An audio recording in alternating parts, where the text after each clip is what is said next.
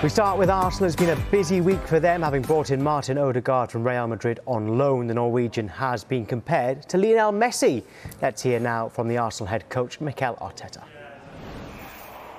I wouldn't. My suggestion is we don't even get close to that name that you just mentioned, because you have. Uh, it's a lost battle, in my opinion. Uh, Martin is Martin. Uh, I think in the last few seasons he's progressed and developed in the right way. I follow him very closely because uh, he played for Real Sociedad, which is my my hometown, and I know him really well. And uh, I've been really impressed. Um, he's such a talent.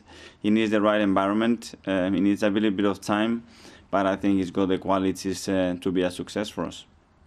You got him here on loan. What sort of impact can he have between now and the end of the season? What does he bring that perhaps you didn't have in your squad at the moment?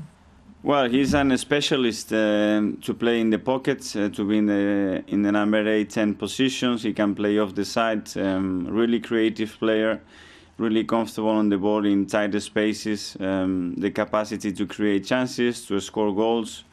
Um, and something that he has improved a lot is his work rate um, without the ball as well. So um, it's another option uh, to give us uh, more um, more creativity for sure in the final third and give her more options uh, to set in different ways against uh, certain teams.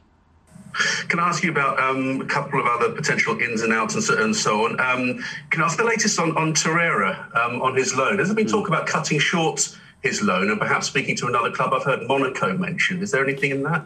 Uh, we've been talking to to Lucas. Uh, Edu has been very close uh, to the situation. Um, he hasn't been playing uh, as many minutes as uh, he would like, uh, as we would like. But to be fair, the, the team is doing so well in Spain, and it's understandable that uh, they don't change the team so much. Um, we just want to be right behind Lucas, uh, protect him, uh, help him to make the right decisions uh, for the future, and um, and let's see what happens. But um, we are monitoring the situation very closely. Is there a chance that loan could be cut short then?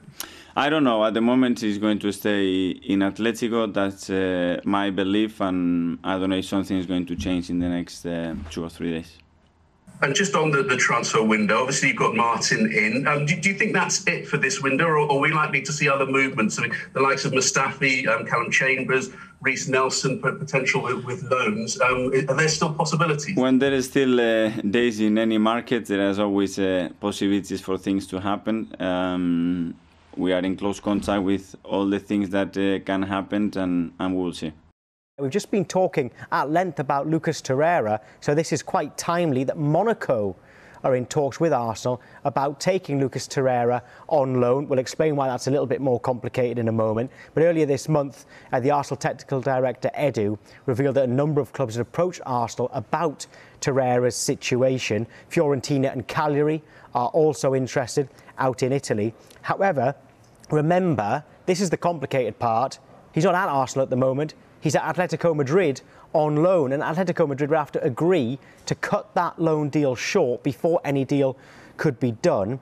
Edu admitted there were worries over Torreira because he's only started two La Liga games this season, as we were saying only about uh, 10 or so uh, minutes ago. And Mikel Arteta didn't rule out uh, recalling Torreira for this very reason. It, it seems, Anton, that this, if Monaco are going to play him, that's going to suit Torreira and Arsenal more.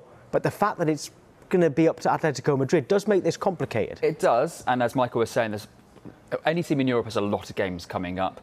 Also, Monaco is not guaranteed a game at Monaco. Monaco beat Marseille at the weekend. They've got two really exciting young central midfielders in Aurelien Tchouameni and Youssouf Fofana.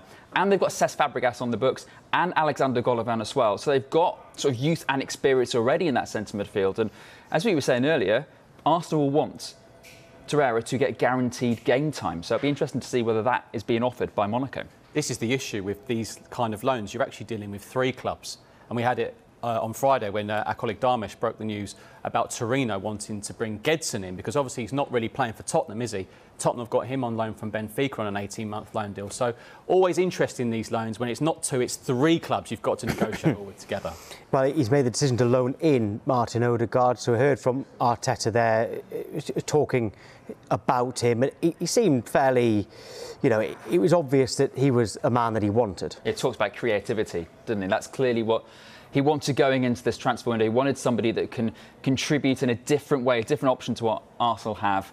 And they pretty much got that with Martin Odegaard. We all know how well he did at Real Sociedad last season, but it's how his game developed as well. It's look, he obviously, you know, he chips in with goals and assists, but everyone sees this kind of everyone talks about creativity, but he he can play slightly deeper in an eight. He can even drift out wide if he wants to. He adds versatility to the Arsenal side. So um, a, lot, a lot's been made, and I've been a little critical about what happens with Emil Smith Rowe because you don't want to see a talented youngster get pushed out of the team.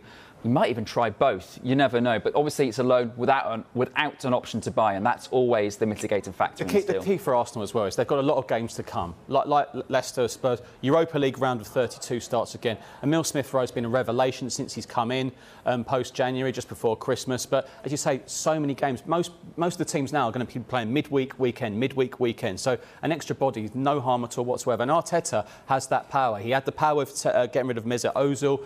Edu trusts him. So, yeah, it's, it's, on Arteta, isn't it?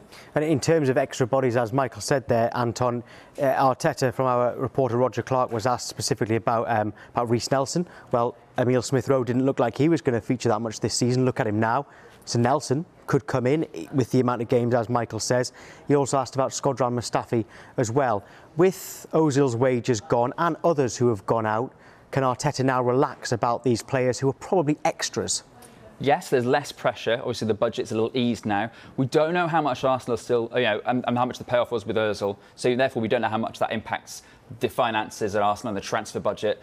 But you know, Reiss Nelson's an interesting one because you'd have thought he may get a little bit more time when when Arsenal was struggling. But we've seen Nicolas Pepe, haven't we, come into the team recently as well. So no no player is really being written off uh, within the young crop at Arsenal.